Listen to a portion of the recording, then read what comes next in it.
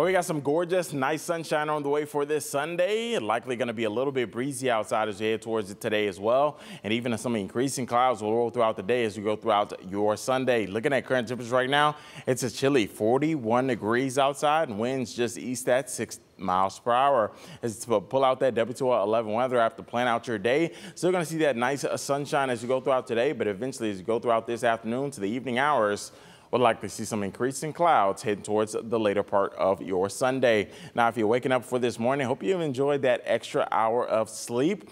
For that sunset time today, we're going to be right around 525 and that morning sunrise at 709. So likely going to see at least it get a little darker uh, really soon. So you at least uh, be prepared for that as you go throughout tonight as we'll likely see that sunset right around 525. Look towards your Sunday, though, mid 60s, mostly sunny skies. And like I said, before the evening hours, we'll likely see uh, some more increasing clouds on the way for us.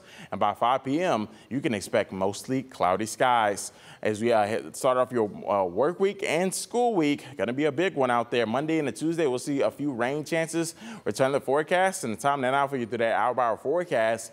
Overall for your Sunday, still going to stay mainly dry, but we'll likely see a few uh, scattered and isolated showers by tonight. Cross over into your Monday morning, a few scattered showers to start off the day. Really going to stay mostly cloudy throughout the day as well. And eventually for your Monday afternoon, it turns a bit breezy and likely a few, a few wet showers out there for you for your Monday. What about your Tuesday though? Going to start off the day dry and likely still going to see uh, dry conditions throughout your Tuesday as well with a few passing showers. Now talk about those breezy conditions that we'll likely see as you go throughout the next couple of days. We'll likely see wind gusts around 20 to 25 miles per hour as you start off your Monday morning, but eventually by the afternoon, even 25 to 30 mile per hour wind gusts will be possible heading towards your Monday. So it'll be a warm breeze outside And by Tuesday morning, really going to be a windy start to the day. Likely a 30 miles per hour wind gust will be possible for your Tuesday morning and well into Tuesday night. Still going to see anywhere from even 30 to 40 mile per hour wind gusts